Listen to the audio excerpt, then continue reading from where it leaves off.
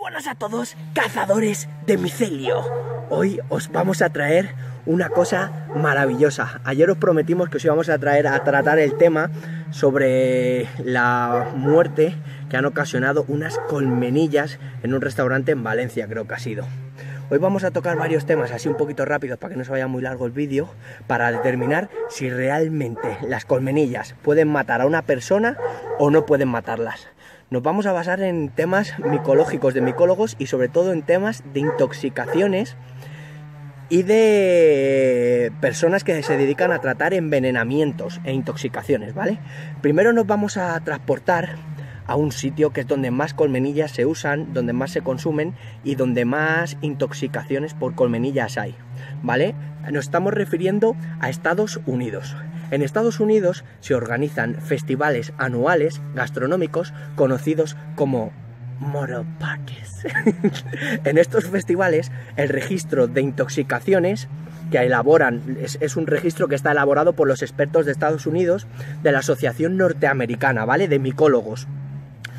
Se citan 1.641 casos de intoxicaciones, de los cuales solo 129 corresponden al género de las morchelas, ¿vale? Así que como vemos, solo un 5 un 10% de las intoxicaciones corresponde a este género, ¿vale? Nos vamos a ir ahora mismo a Francia, que es otro país gastronómicamente hablando de las colmenillas que también se utilizan mogollón. En Francia, la base de datos que tenemos allí de los centros antienvenenamientos y de toxi... ¿cómo se dice? toxicovigilancia, ¿vale? Que lo llaman creo el CAPTV por sus siglas en francés, ofrecen registros también muy parecidos de unas 130 a 129 personas que supuestamente habían, habían sufrido síndromes neurológicos, ¿vale? Causados también por las colmenillas. Estos síndromes que tenemos han sido causados en un periodo de 30 minutos tras su ingestión. Y todos estos 130 casos ha sido en un periodo de unos 29 años. O sea, 130 intoxicaciones en casi 30 años por este género, cuando lo consumen miles y miles y miles de personas. Vamos a hablar ahora un poquito de España. En España, la revisión más completa está publicada por el doctor, un doctor creo que es catalán, que se llama Josep Piqueras. Sí, es catalán, es catalán. Es de un hospital, del hospital de la univers universitario, que no os voy a decir el nombre porque el nombre es una movida que flipáis. Ese está en Barcelona, ¿vale? En él aparece una exhaustiva relación de casos españoles de gente que ha ingerido colmenillas. Eh, de todos estos casos que se han registrado, se deduce que la ingestión de colmenillas crudas o poco cocinadas produce trastornos gastrointestinales, como bien sabéis vosotros, y neurológicos, o sea, afectan al cerebro de poca entidad. O sea, esto significa que es de poca importancia, ¿vale? Y que la mayoría de los intoxicados, de la gente que se intoxica por colmenillas, supera esta intoxicación en un plazo de 48 horas. Las personas más débiles y las personas más corpulentas y que son más jóvenes en un tema de entre 2, 3 a 6 horas. O sea, estamos hablando de que relativamente pronto...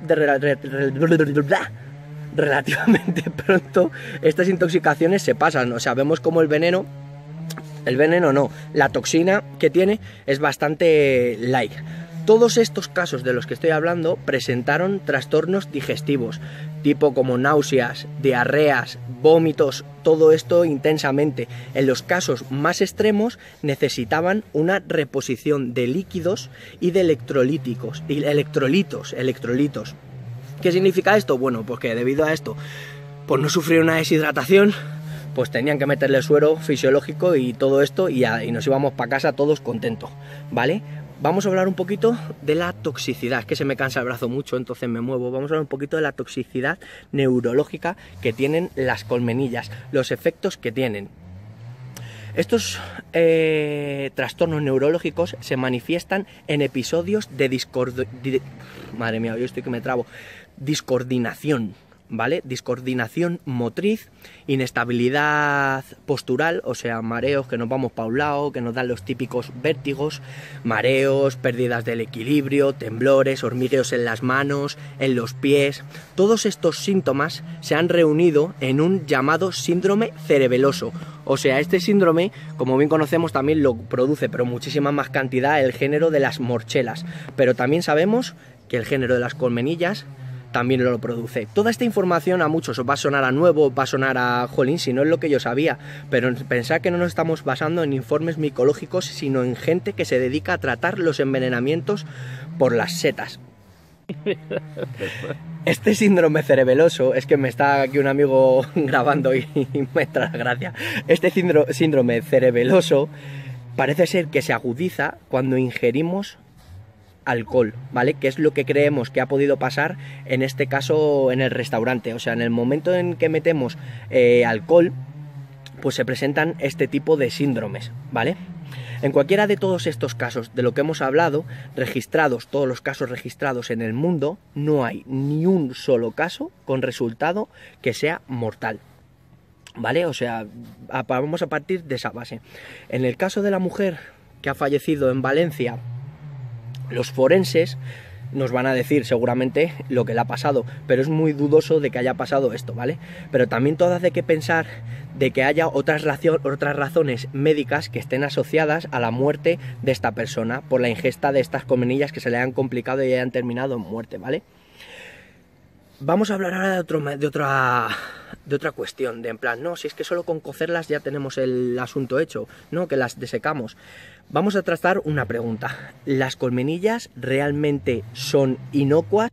Como hemos visto con lo del decreto, vamos a tratar tres o cuatro puntos. Primero, son especies, como bien os he dicho, que solo pueden ser comercializadas teniendo un tratamiento previo, ¿vale?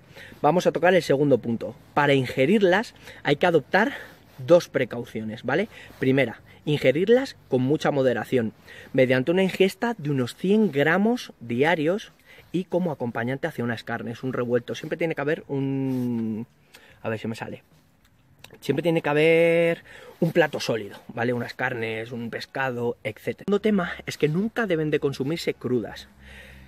Tampoco se quita la toxina con una cocción, como teníamos pensado. Nada, las cocemos y la toxina desaparece. Eso es una de las grandes mentiras que tienen las colmenillas. Las toxinas de las colmenillas son volátiles, no termófilas, o sea, no desaparecen con el calor, desaparecen con la disecación, ¿vale? Cuando la deshidratamos, ¿vale? La experiencia de los micólogos nos ofrece una sola práctica segura, que es la que yo os recomiendo la disecación previa para que las toxinas volatilicen, ¿vale? O sea, desaparecen. La ingesta de estas, de estas colmenillas, una vez que están disecadas, tiene que ser de varias semanas después de la disecación. ¿Vale? Tenemos dos tipos de géneros, las rubias, vamos a simplificarlo, y las morenas. Las rubias por la general suelen ser las que salen en riberas y suelen tener mucha más toxicidad que las que son morenas, ¿vale? Las pirófilas, como podemos llamar. ¿vale? Haciendo todo esto, podemos afirmar que las colmenillas al 100% pueden seguir ocupando la categoría de plato de cuatro tenedores, de delicatessen, de manjar de dioses, de vocato di cardinale. Así que chicos, espero que esta información os haya, os haya gustado. Aquí tengo a mi amigo, y por eso me estaba riendo, porque le tengo de frente. Y disfrutar. Ya sabéis que las colmenillas es prácticamente imposible que nadie muera. De hecho, hasta ahora nadie ha muerto nunca. Un abrazo. Consumirla.